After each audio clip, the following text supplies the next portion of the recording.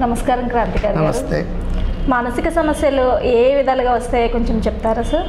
మానసిక సమస్యలు అనేవి చూడడానికి ఆఫ్టర్ ఆల్ లాగా అనిపిస్తాయి కానీ దానివల్ల ఎన్నో సమస్యలు వస్తాయి.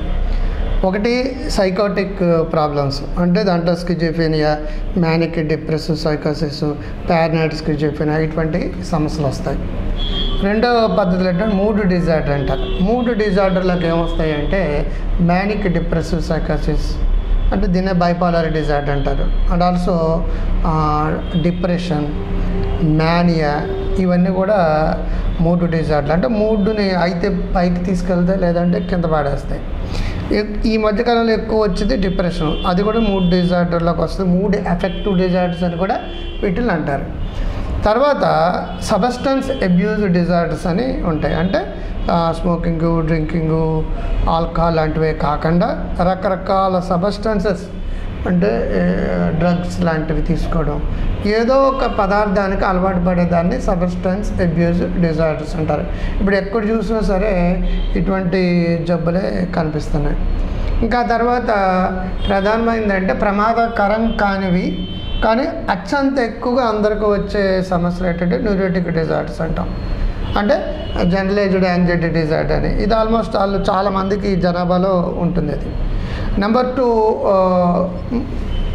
మా వాళ్ళు డిప్రెషన్. అంటే ఇందాక చెప్పుకునే ఎండోజెనియస్ డిప్రెషన్ అంటే రియాక్టివ్ డిప్రెషన్ న్యూరోటిక్ డిప్రెషన్ ఉంటుంది. అంటే పరిస్థితులు బాగాలేనప్పుడు డిప్రెషన్ వచ్చేస్తుంది. కుటుంబంలో సమస్యలు ఆర్థిక లావాదేవీలు చదువుల్లో వెనకబడబడాలి అది యాంగ్జైటీ అనేది కామన్గా వస్తుంది అందరికని.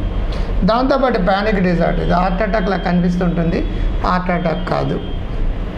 ఈ మధ్యకాలంలో మరీ ఎక్కువగా కనిపించేది అబ్సెసివ్ కంపల్సివ్ డిజార్డర్ ఇది వచ్చిన ఆలోచన రావడం చేసిన పని చేయడం అతి పూజలు అతి చాదస్తం లేదనుకుంటే ఎయిడ్స్ వచ్చిందని భయం రకరకాల వస్తాయి.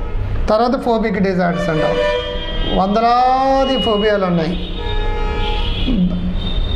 పబ్లిక్ అంటే భయం కావచ్చు ఎత్తైన ప్రదేశం అంటే భయం కావచ్చు బల్లి అంటే భయం కావచ్చు ఎయిడ్స్ అంటే రక్తం అంటే భయం కావచ్చు వీటిలన్నిటి కూడా ఫోబిక్ డిజార్డర్స్ అంటాం.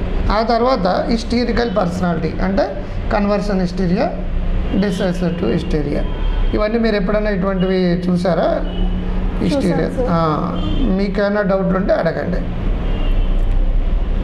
అలాగే చైల్డ్ సంబంధించిన ప్రాబ్లమ్స్ ఉంటాయి. అంటే attention deficit hyper active disorder అని ఆ తర్వాత బెడ్ వెట్టింగ్ రాత్రి పక్క తడిపేయడం తంబసప్ సప్కింగ్ అని మట్టిని తింటూ ఉంటారు శుద్ధ ముక్కలు తింటారు కనికలు తింటారు దాని పీక అంటారు. మడ్ ఈటింగ్ ఇవన్నీ కూడా పిల్లలకు సంబంధించిన ప్రాబ్లమ్స్ ఇవేమీ కాకుండా పర్సనాలిటీ డిజార్డర్స్ అని ఉంటుంది. Anti social personality masochistic personality passive personality తర్వాత ఎదురోళ్ళని ఇబ్బంది పెట్టడానికి ఈ ఉండే సాడిస్టిక్ పర్సనాలిటీ నార్సిస్టిక్ పర్సనాలిటీ ఇవన్నీ కూడా రకరకాల జబ్బులు